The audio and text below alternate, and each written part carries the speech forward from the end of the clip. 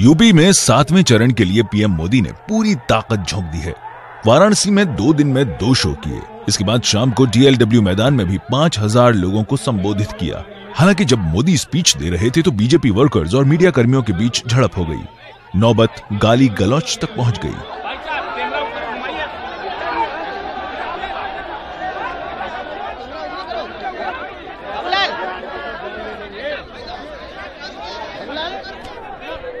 मजबूरन मोदी को स्पीच रोकनी पड़ी।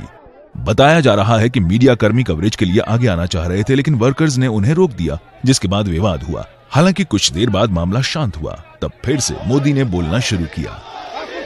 ये कैमरा वाले इधर आ जाए अंदर आ जाए भाई। कैमरा वाले अंदर आ जाए। मैं हमारे मीडिया के लिए कॉमेडी कर रहा हूँ।